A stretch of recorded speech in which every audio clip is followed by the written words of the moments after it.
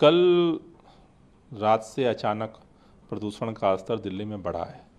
अभी तक जो हमने रात से और अभी तक जो तमाम साइंटिस्टों से बात की, जो सारे चीज़ों का एनालिसिस किया है, उसमें दो फैक्टर समझ में आ रहा है कि जो प्रदूषण का स्तर एक आई थ्री हंड्रेड के आसपास था, वो अचानक जो है मल्टीप्लाई कर गया, बढ़ गया।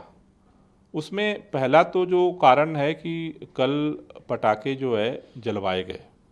दिल्ली के आम लोगों ने पटाखे नहीं जलाए, लेकिन भारतीय जनता पार्टी के लोगों ने पटाखे जलाने के लिए उकसाया लोगों को, उसको धर्म से जोड़ करके प्रचार किया गया।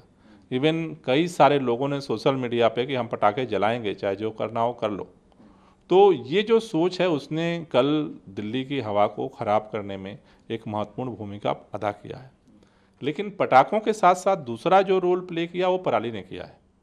अभी जो सारा डाटा हमने निकलवाया तो मैं आपको बताना चाहता हूँ अगर आप ये देखें ये आ, कल का पराली जलने का ये चित्र है नासा का जिसमें आप रेड एरिया देख रहे हैं।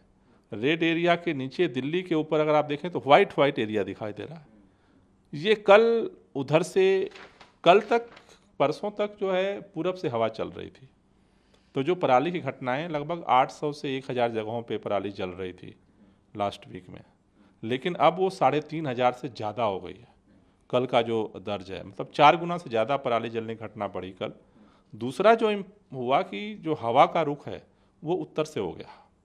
तो अब जो पंजाब, हरियाणा में जो भी पराली जली तो कल शाम तक ये जो आप देख रहे हैं, ये कल का चित्र है, आज का नहीं, ये कल का। कल शाम तक ये जो स्मॉग जो है, वो पराली से आकर के चादर घिर गई थी। लेकिन पटाखों के जलने से जो है, जो पटाखे जलवाए गए, उन पटाखों के जलने से जो प्रदूषण का स्तर है, वो काफ़ी कई गुना बढ़ गया। जिसकी वजह से आज जो है दिल्ली की हवा जो है दमघोटी हो गई। कि देखो, दिल्ली के अंदर का जो प्रदूषण है, उस प्रदूषण को कम करने के लिए हम लगातार काम कर रहे हैं। चाहे वो डस्ट पोल्यूशन हो, व्हीकल पोल्यूशन हो तो जो बाहर से पोल्यूशन और इमरजेंसी पोल्यूशन आया है, उसके अलावा जो दिल्ली के अंदर का पोल्यूशन है, उसको हमें मिल करके रोकना पड़ेगा। जैसे बीजेपी के लोग ये कह रहे थे जी कि पटाखे फोड़ने से कुछ नहीं होता, आज तो सबको दिख रहा है कि हो रहा है पटाखे फोड़ने से। तो मेरा ये निवेदन है सभी लोगों से, दिल्ली के लोगों से, कि दिल्ली के अंदर का जो पोल्यूशन है, हम सब मिलके पैदा करते हैं। हम सबको मिलके इसकी लड़ाई को लड़ना पड़ेगा।